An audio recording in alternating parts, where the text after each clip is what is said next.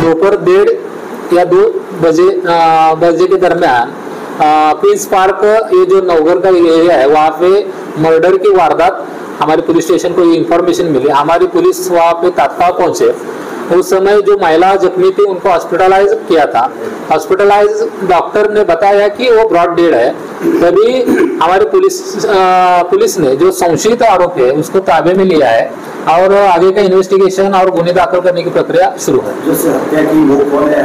जिसकी मौत की वो कौन है? रिलेशन जो औरत है उनके जो दीर रहते हैं या उनके देवर देवर का वो लड़का है अभी वो संशयित बोल के हमारे ताबे में है। और आगे हत्या की वजह सामने क्या नहीं अभी प्राथमिक इन्वेस्टिगेशन चालू है यही इंफॉर्मेशन हमको मिली है। आगे जाके इसमें ज़्यादा रिवील हो जाए ताज़ा ताज़ा खबरों को देखने के लिए हमारे चैनल को सब्सक्राइब करें और लाइक, कमेंट, शेयर